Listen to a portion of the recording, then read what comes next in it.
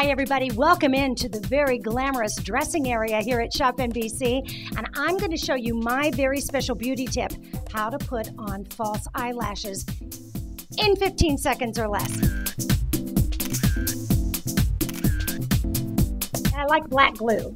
And I like a nice big thick eyelash. So what we're going to do is put a thin bead of glue, just a thin bead of, of glue right there on the eyelash. Right?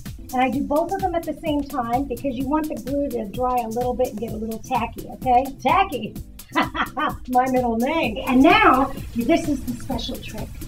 Your tweezers. So here we go.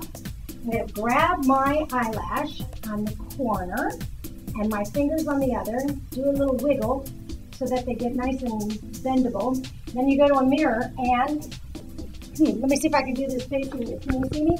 So I use my tweezer to place the center and hold it into place. And then I take the tweezer on the other side and put it into place. And then if it messes up like that, no worries. You just use your tweezers, put it back in place. Voila! You are done. Signing off for our red carpet tips with Charlie Lapson.